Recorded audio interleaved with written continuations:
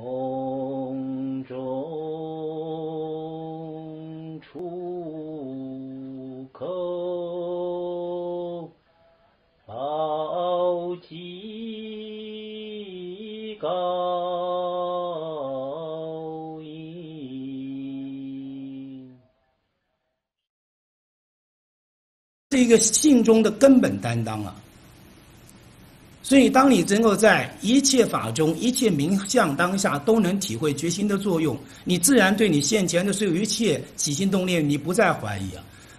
那一切烦恼现前处，你就会分别啊这个烦恼是什么心，什么心故令我如是烦恼？我若是还是随顺此心，我将来又会堕在什么样的烦恼境界中？你都会分析啊。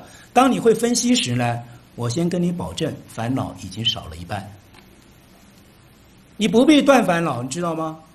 你不明白烦恼，你就被烦恼牵流了。你能明白烦恼，明白心性时，根本不必断烦恼。你要是真有烦恼可断，那就要头上安头，那就是流转。你明白是一切心性时，你根本就不会在烦恼上面啊。所以，他不但不会堕在烦恼上面，而且他还能够起成大担当，自心所起的过去的烦恼的障碍现前，他都还能明白他的变化。因为他能够明白他的变化故，所以他才要能够为一切同样业力的众生讲尽出离烦恼法。你要不知道，你怎么能讲法？你自心都不流露故，你怎么讲法了？上次还讲到自他交换，你的自心还要觉他，还要知道他有多少痛苦，你心中如同感同身受啊！连他的痛苦你都能感同身受，你自心中的起着烦恼，你怎么会不清不楚啊？所以那个是大觉心体的作用啊，所以能够如是知的人，自然而然在世间上，他就能够什么？能够找到根本断烦恼的必尽法门。所以那个根本断烦恼的必尽法门，它是真正就是大圣这个佛法中讲的，你当下就在烦恼上看到你的心性的作用嘛，叫烦恼即菩提。你知道烦恼即菩提时，烦恼。它不过就是什么，就是古德说的假名而已，不过就是名字而已嘛。你看到那些像，你都能够清楚它的过程，它在你面前不过就剩名字而已嘛。一切不管它强它弱，它不管它里面的境界如何如何翻腾，那些都变成只是名字，就只是名字。过去你讲到翻腾强，你就好像真正心中就随它牵流流转，随它牵引。将来你讲说烦恼势力强，这个强在你心中不过都是名字而已。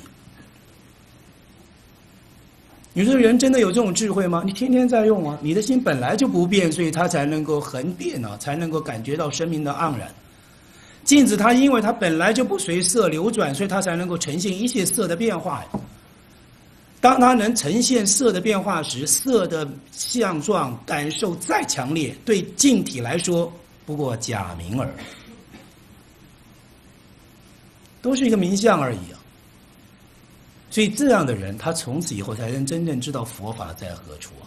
所以过去我们常常，大大部分人都会说，我们将来要学佛的人，啊，要将佛法融入在生活中，对吧？常常听到有人这样讲，讲这句话的，跟早上我讲的那个九教合一同样无聊。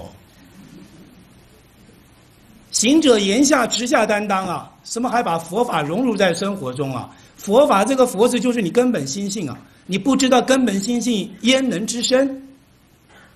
你连身都不知道，何必还何况还能说活？就是见到心才能够知道生活的，就是看到这个觉醒才知道等于在怎么生活的。你能明白这句话时，你会念念之间谨慎了，念念之间不断就会回光了。这个人才知道，没有一刻，没有一念，没有一个刹那离开心体。没有一个刹罗离开如是大觉心法，就叫做佛法。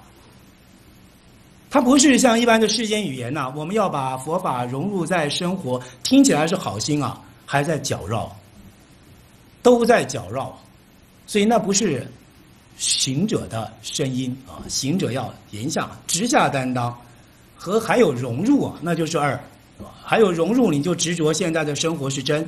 有执着现前的所有一切表现，你还以为是真的是实有？为什么你会认为是实有？因为你不知道它是心性所成故嘛，所以你抓的是石油。当你抓它是实有时，你又感觉你又抓不到东西，因为心在实有之中，它会不断的变化。